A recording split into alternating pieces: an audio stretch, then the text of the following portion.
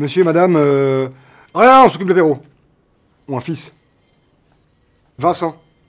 Vincent, rien, on s'occupe de l'apéro. C'est une blague vaudoise, en fait. Ouais, Vincent, rien, on s'occupe de la... Non?